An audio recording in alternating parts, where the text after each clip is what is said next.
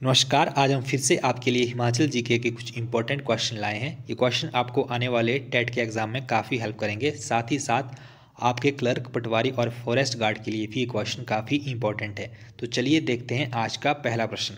हिमाचल प्रदेश के कुल भूभाग का कितना प्रतिशत भाग खेती योग्य है? ऑप्शन ए है लगभग दस प्रतिशत बी तीस प्रतिशत से अधिक सी लगभग दस प्रतिशत डी बीस प्रतिशत।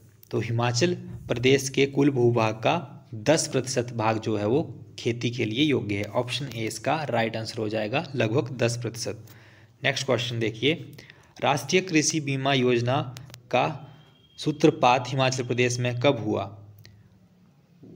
ऑप्शन ए है नाइनटीन नाइन्टी सेवन से नाइनटी नाइन्टी एट के बीच, या फिर उन्नीस सौ अट्ठानवे से निन्यानवे के बीच, या फिर उन्नीस सौ निन्यानवे से दो हज़ार के बीच, या फिर 2000 से 2001 के बीच। तो इसका राइट आंसर क्या हो जाएगा? उन्नीस सौ निन्यानवे से 2000 के बीच। ऑप्शन सी इसका राइट आंसर हो जाएगा। नेक्स्ट क्वेश्चन देखिए। ट्रिमिनेलिया शबूला किस पौधे का नाम है। ऑप्शन ए है चाय बी हरड सी ब्राह्मी डी भेड़ा। तो ट्रिमेलिया शबूला किस पौधे का नाम है। ये हर्ड का नाम है। नेक्स्ट क्वेश्चन देखिए। चुकंदर व केसर किस ज़िले में पैदा होता है?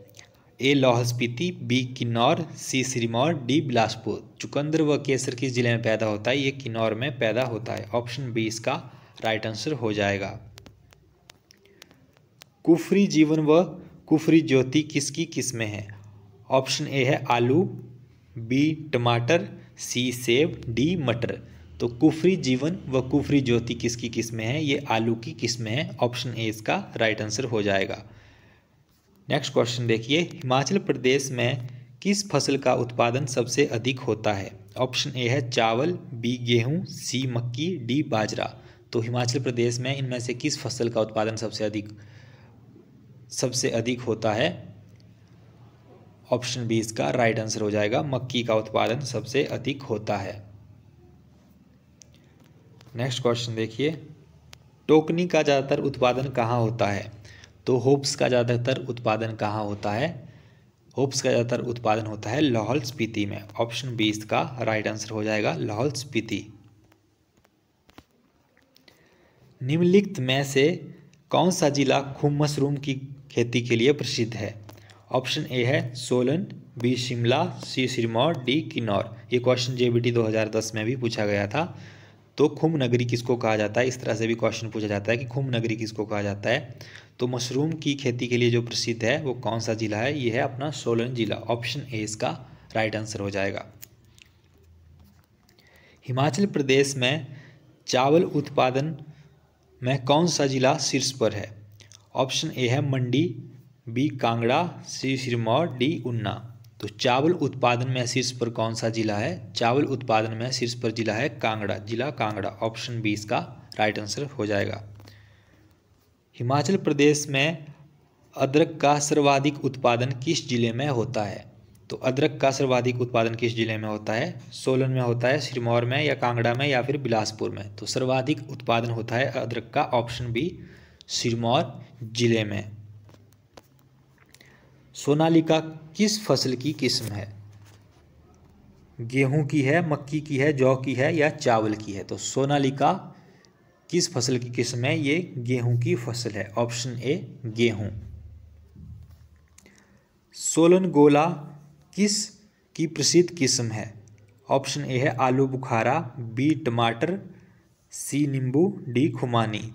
तो सोलन गोला किसकी किस्म है? सोलन गोला है किसकी किस्म? यह है टमाटर की किस्म। ऑप्शन बी, टमाटर। हिमाचल प्रदेश के किन जिलों में परंपरागत रूप से चाय उगाई जाती है? ऑप्शन ए है कांगड़ा व मंडी, बी, शिमला व कुल्लू, सी, लाहौल व स्पीति, डी उन्ना व हमीरपुर।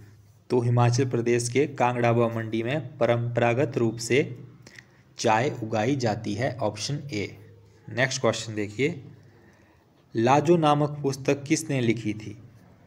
ऑप्शन ए है Shanta Kumar, B Akshar Singh, C M R Thakur, D M S Randhawa. तो लाजो पुस्तक किसने लिखी थी? राजो पुस्तक लिखी थी शांता कुमार ने। ऑप्शन ए इसका राइट आंसर है। नेक्स्ट क्वेश्चन देखिए। शिमला अतीत और वर्तमान के लेखक कौन हैं? John C John C Northbrook Edward J. Buck और वालसी प्रिंसप तो शिमला अतीत और वर्तमान के लेखक कौन है? Edward J. Buck. Edward J. Buck इसका राइट आंसर हो जाएगा। Option D Edward J. Buck. इसका राइट आंसर है। नेक्स्ट क्वेश्चन देखिए। निम्न पुस्तकों में से किसमें कालिदास ने किन्नरों का वर्णन किया है? तो कालिदास ने किसमें किन्नरों का वर्णन किया है? ऑप्शन ए है Kumarasambhava, B Meghaduta, C Abhijnana Shakuntalam, D Raghuvamsha. तो इसका राइट आंसर हो जाएगा कुमार संभव। में कालिदास ने किन्नरों का वर्णन किया है? ऑप्शन ए, कुमार संभव।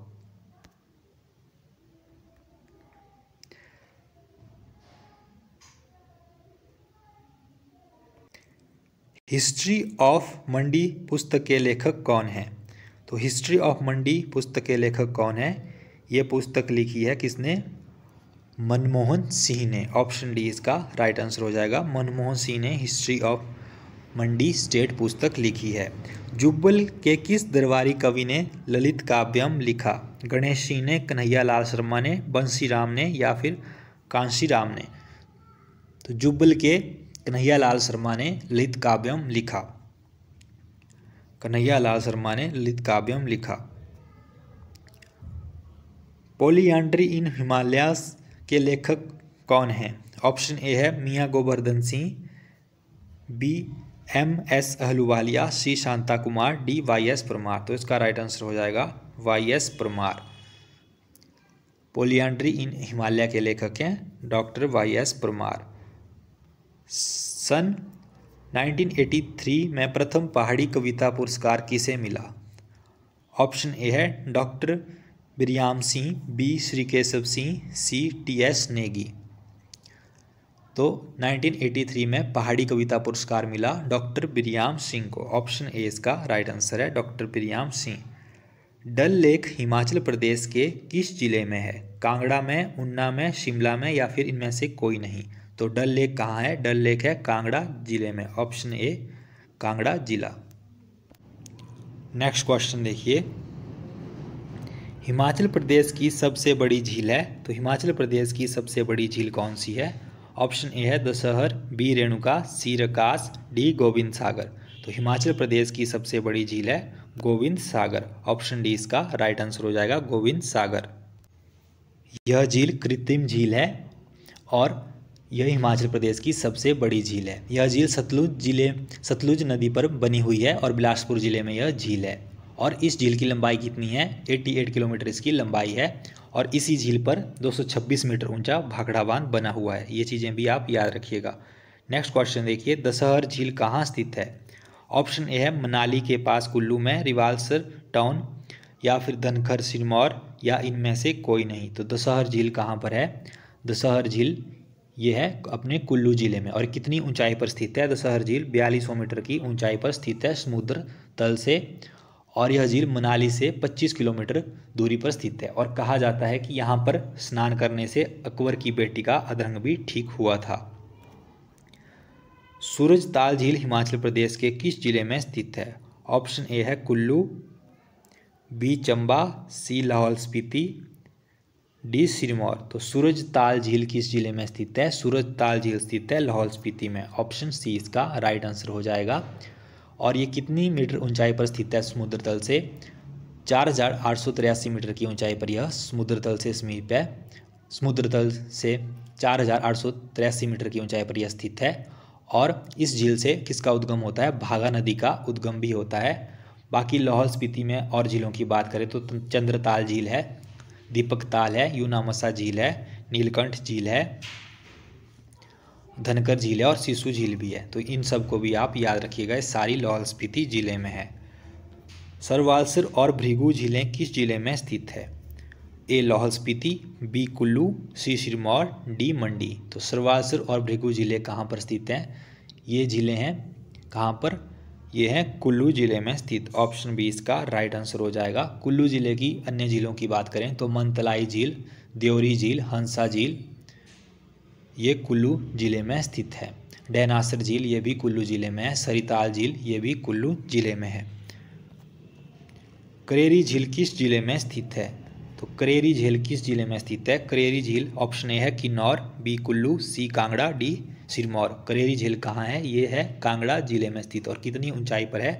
तीन हज़ार अड़तालीस मीटर की ऊंचाई पर स्थित है। ऑप्शन सी, कांगड़ा जिला में यह झील स्थित है। गोविंद सागर झील के निकटतम कौन सा जिला मुख्यालय है? तो जैसा कि मैंने आपको पहले बताया कि गोविंद सागर झील किस ज़िले में है? ये बिलासपुर ज़िले में स्थित है। तो ऑप्शन सी इसका राइट आंसर हो जाएगा और इसी झील पर जो है भाखड़ा बाँध बना हुआ है, जो कि उन्नीस में बनकर तैयार हुआ था। तो भाखड़ा बाँध कब बनकर तैयार हुआ था? 1963 में बनकर भाखड़ा बाँध तैयार हुआ था और ये कृत्रिम झील है आर्टिफिशियल लेक है।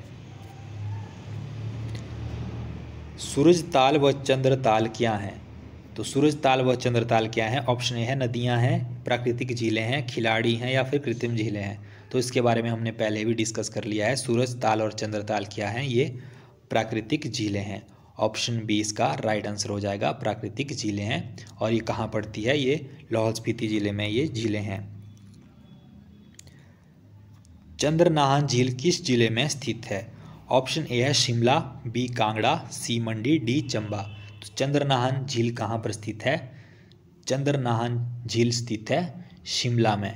शिमला में यह झील स्थित है और कितनी ऊंचाई पर स्थित है ये? ये है चार हज़ार दो सौ सतासठ मीटर। चार हज़ार दो सौ सतासठ मीटर की ऊंचाई पर स्थित है और ये कहाँ पर है? रोडू में है और इसे पब्बर नदी का उद्गम स्थल है। ये पब्बर नदी का उद्गम भी इससे ही होता है। और यह झील सात सरोवरों का समूह है। इसके बारे में ये भी जान लीजिए। सात सरोवरों का यह झील समूह है। शिमला की अन्य झीलों की बात करें तो शिमला में और कौन सी झील हैं? कराली झील, ये भी शिमला में है। ब्रादोनासर झील, ये शिमला में है। गढ़कुफर झील, ये भी शिमला में है। और तानुजुबुल झील, ये भी शिमला में है, नारकंडा के समीप। तो इस तरह से इनको भी आप याद रखिएगा। तो ये आज का हमारा लास्ट क्वेश्चन था। वीडियो अच्छी लगे तो वीडियो को लाइक ज़रूर करें और चैनल को सब्सक्राइब करना ना भूलें। कल फिर हम आपके लिए हिमाचल जी के के क्वेश्चन लाएँगे। साथ ही साथ हिंदी, सामान्य हिंदी हिंदी व्याकरण के भी कुछ इंपॉर्टेंट क्वेश्चन आपके लिए लाएँगे। धन्यवाद।